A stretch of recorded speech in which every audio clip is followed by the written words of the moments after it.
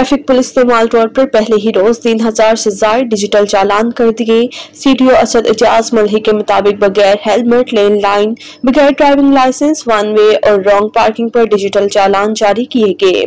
माल road पर manual चालान के बजाय डिजिटल चालान किए जा रहे हैं।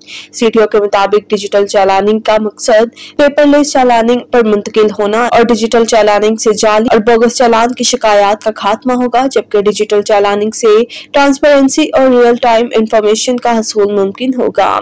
सीटीओ के मुताबिक कितने चालानिंग किस जगह और किस खिलाफ वर्जी पर किए गए, सबका डाटा महफूज होगा और चालान बरखिलाफ पर्सन करने से पॉइंट सिस्टम राइज करने में आसानी होगी।